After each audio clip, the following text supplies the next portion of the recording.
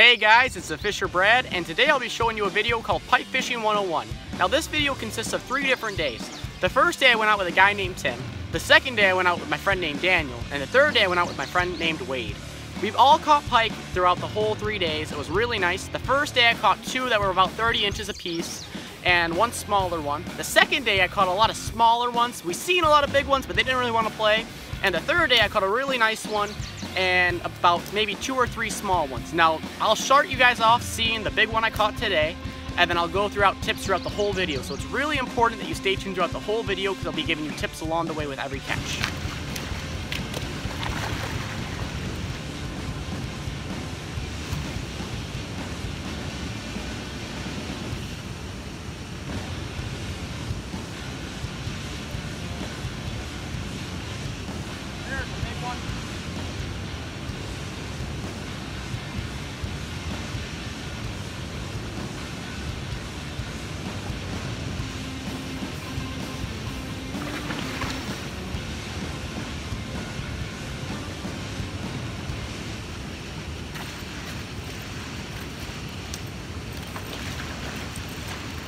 Nice big huge one, guys.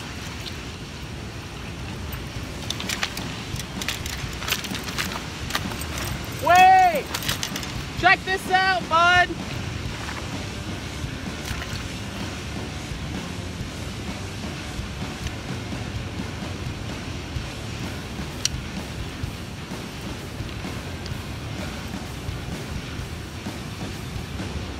Monster, guys.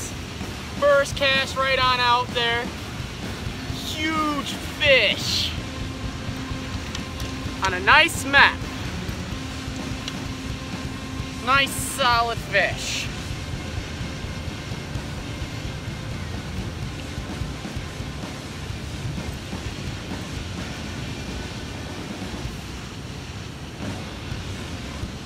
I'm gonna actually get it on the stringer real quick before I take the lure out, just in case it flies out.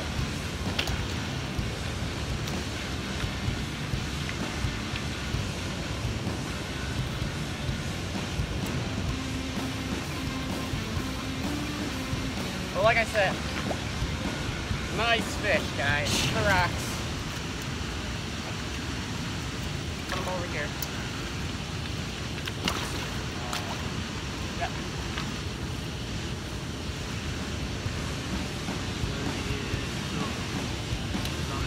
Nice 32 inch fish, guys. I actually just lost my big fish. It bit through the stringer. Another new tip I have for everyone, including myself. Always make sure you have a thick line strainer when you get pike.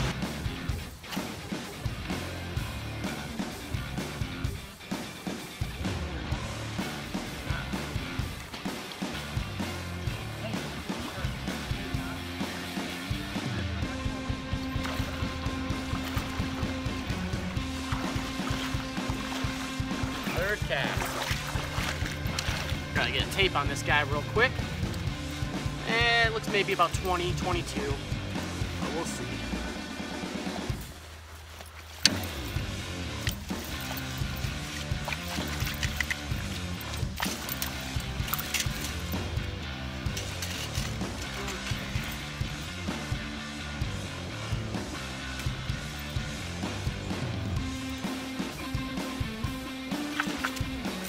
biting, so I'm holding its mouth openward, just like that, its jawline can't bite me. I never carry pliers, so always the most difficult part is unhooking these guys. All right.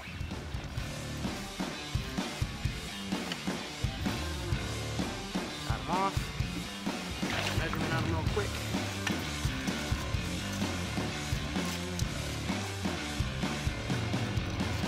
Twenty-two and a half inches, so not a bad one. So first pike of the day so far.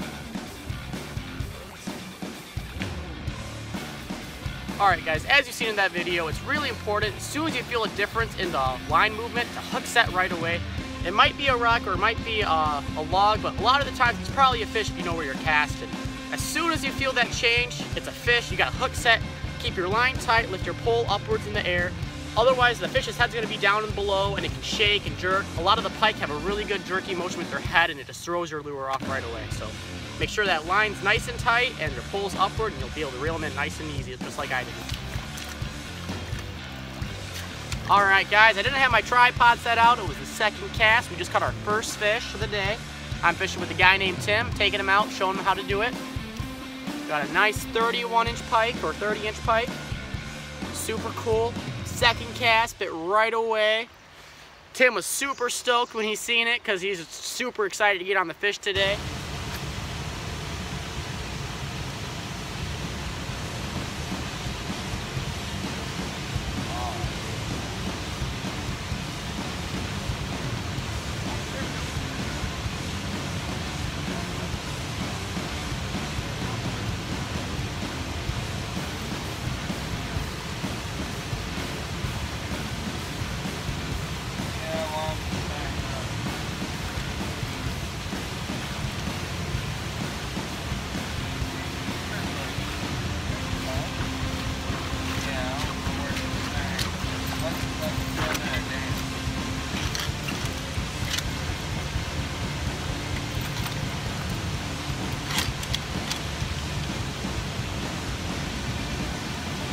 Got my second pike for the day.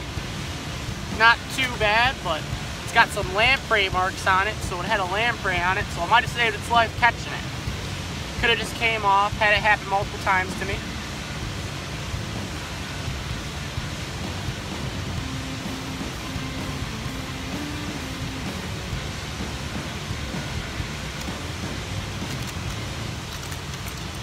Don't want to bite down on me.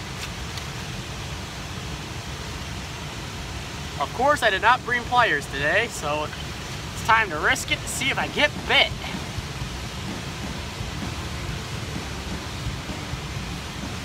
Got the lure out.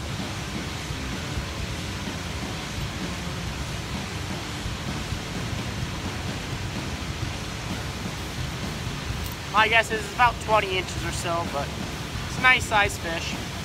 I'm gonna put it back now. Without this net, I'd really struggle, especially when a bigger fish comes towards me. If you can't net it right away, you don't really want to beach a big fish because it could just flop right on and flop in the water and then it's gone. So you want to make sure you keep it calm and controlled and then get in your net. When you're casting, you always want to cast downstream for pike. If you cast upstream, it gives them more time to shake their head and get off before you even know they're there. If you cast downstream also, it makes it super easy to throw a spinner bait or whatever bait you're throwing at a slower speed but moving at a bigger motion. As you can tell, they can bite. I just caught my second one for a keeper anyway. So, didn't get these guys on video. However, they were really nice fish. We were walking down. Awesome size fish, guys. So, super cool. Really wanted to get one that was both, both the sizes combined, but that didn't happen. Alright guys, it's day two of my video, Pike Fishing 101. Yesterday was super awesome. I got my limit. Um, we got three big fish, but we didn't get any of them really on video. Um, just because when I caught them, I was actually walking downstream and we really can't have the camera set up on the side while we walk. But I got one small one on video too. Turned out pretty nice, so we're gonna see if we can get some more big ones today. I have him set up with a double-bladed Mepps. Super great lure. Um, that's mostly what we're gonna throw today. Right here, got a whole box full of them. Honestly, any of these will really work. I like the bigger ones better just because when a fish goes to bite it, um, if it's a pike, they have a lot of teeth. So they'll actually swallow the lure whole and they'll bite your line all the way through, where if it's a bigger lure, normally they miss the line and they just bite the lure. So that's why I really recommend buying bigger lures for these fish. But the small ones will work too, and I mean, they're just more risky.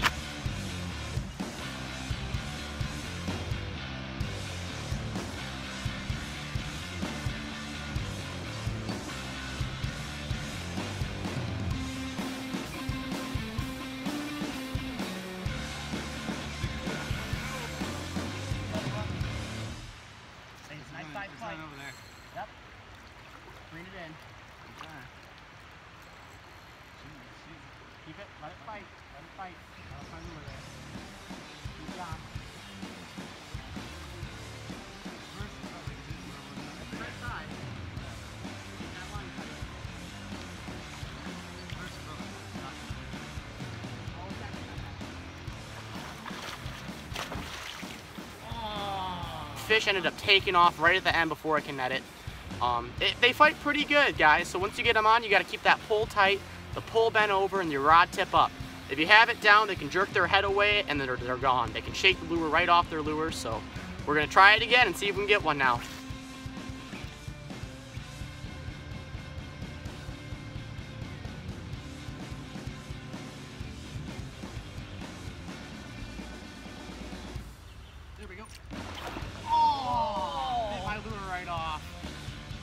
As you see it in that video right there, I was doing everything right, had my pull tight, went to hook set, but that pike, the bigger the pike, they just got bigger mouths, so they can swallow your lure whole, and it, it just bit right through my line. I only battled it for two seconds. You could see the splash in the water, all the action.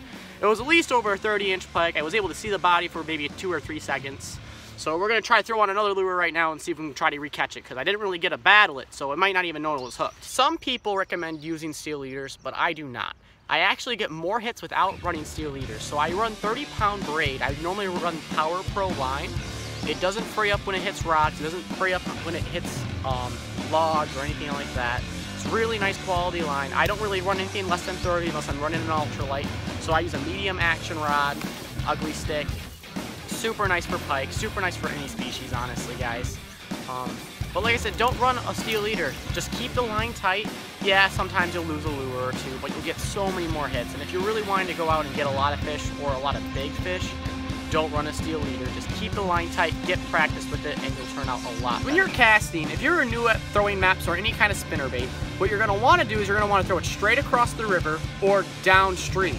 This helps the lure spin really good in the water. If you throw it upstream, you can if you're an experienced angler, especially with Mepps. But if not, I highly do not recommend it. A lot of the times, if the line has any slack, the pike will just swallow the lure, bite it, and it's gone. Or also, even just if it's just going downstream, the fish are, are more likely to hit it because it's moving slower and you get a nice moving pace on the lure. Pike are really aggressive, so they're gonna hit pretty hard. So if you don't hook set right away, chances are they're gonna get off.